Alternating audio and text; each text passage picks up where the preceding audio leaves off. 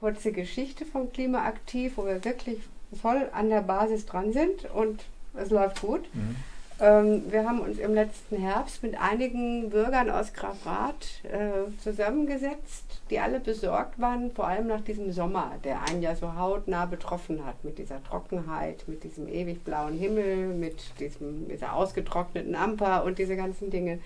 Da sind mehr und mehr Leute auch an ihrem Ort so wach geworden und dann haben wir uns zusammengesetzt und in einem ganz spannenden Prozess klimaaktiv gegründet, auch diesen Namen gefunden, uns, uns eine Art Ordnung auch gegeben und Arbeitskreise gegründet von Anfang an.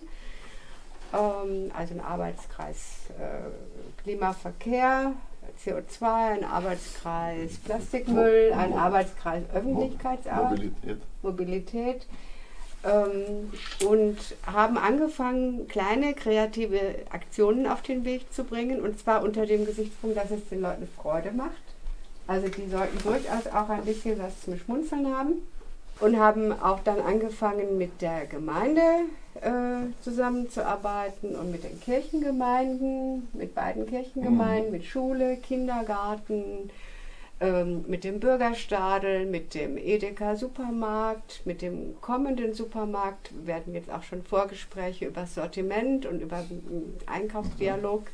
Mit dem Bioladen. Also wir haben in Grafrath wirklich ja. bisher alles so ein bisschen aufgegriffen, was es so gibt, wo Leute hingehen. Also wir haben versucht, die Menschen da anzusprechen und abzuholen, wo sie sich in ihrem normalen Alltag gerne bewegen und wo sie sich zugehörig fühlen. Und das heißt, da haben wir diese Aktionen so ein bisschen passgenau abgestimmt, haben auch viel Öffentlichkeitsarbeit gemacht. Also wir sind seit vier Monaten, fünf Monaten im Gemeindeblatt jeden Monat.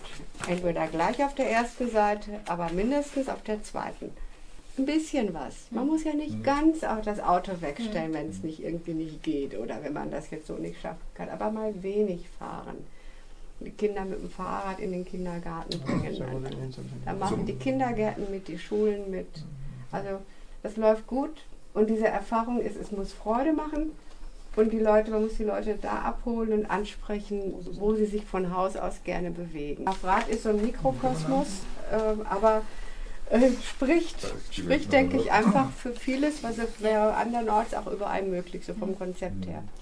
Ich bin also jede Woche ein paar Mal unterwegs und spanne halt immer wieder, dass diese einfache Bildung bei den Leuten nicht vorhanden ist. Ich habe das Beispiel mit einem Quadratmeter mit nachwachsendem Rohstoff, wo wir das Rapsöl hernehmen oder das Öl von, von Saudi-Arabien, ist ja letztendlich wurscht, dann kann ich mit der Energie von einem Quadratmeter Raps einen Kilometer oder zwei fahren. Dann ist die Energie weg.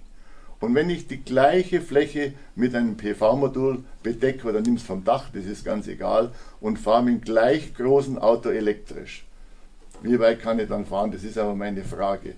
Dann gibt es ein paar, die sagen, ja, so eine Platte, die bringt ja nichts, da fahrt man noch weniger mit, mit dem Öl. Dann gibt es noch, die sagen, ja, 5 Kilometer, 10 Kilometer. Bei 10 sage ich nachher oft, ja, das sind vielleicht 1000 Prozent mehr.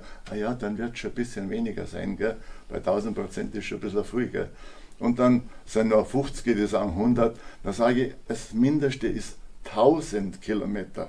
Wir haben ja bei uns in Kogeisering einen der ersten Energiearbeitskreise gehabt mhm. und hätten ja Wind- und Photovoltaik richtig voranbringen wollen. Und die Leute, wo damals da richtig aktiv waren, die sind alle ich sag's mal so, verheizt worden. Die sind mhm. von den anderen Leuten, die wo da noch nicht am, am, am, Drücker waren, die sind von denen auf Deutsch gesagt fertig gemacht worden. Und dann ist es wieder lang still mhm. gewesen. Und wenn ich das, das jetzt, in, wenn ich, wenn ich, mhm. ja genau, ja. wenn ich das jetzt im Grafrat sehe, sagen wir, da ist Euphorie da und, und, und mhm. die Zeit ist jetzt ganz, also ich meine ganz anders.